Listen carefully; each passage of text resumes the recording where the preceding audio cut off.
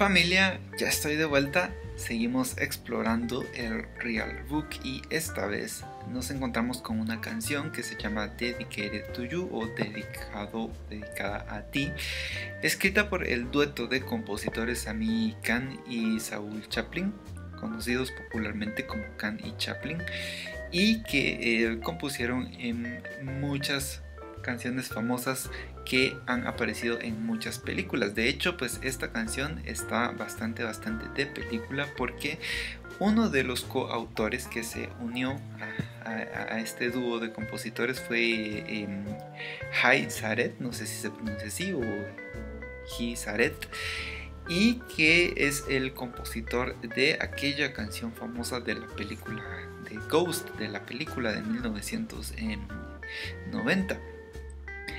Eh, Hizaret precisamente incursionó en, el mundo de, la música o, tuvo su, primer éxito cuando eh, coescribió esta canción junto con el, con el dúo Can Chaplin que ya eran famosos por eh, haber compuesto muchas otras canciones.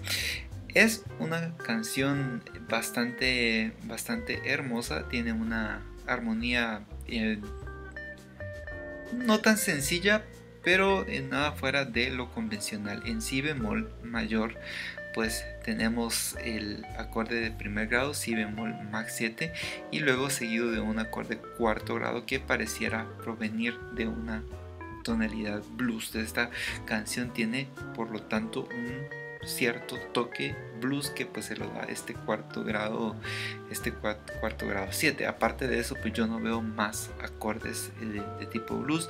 Lo que sí veo son bastantes progresiones de tipo 251 em, como en cualquier otro estándar de, jazz.